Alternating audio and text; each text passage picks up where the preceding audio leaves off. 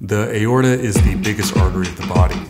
It looks like a garden hose connecting vital organs of the torso, the head, and limbs to the heart. In rare circumstances, the inner wall can tear, at which point mortality drops 1% every hour treatment hasn't been initiated. The wall is made up of three layers.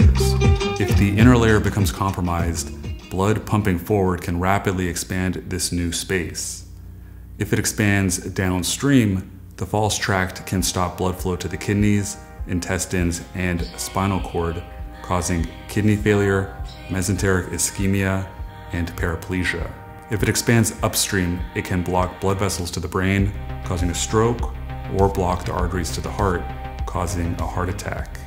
Once dissecting, the aorta is also at risk of full thickness tear, which would cause death in minutes.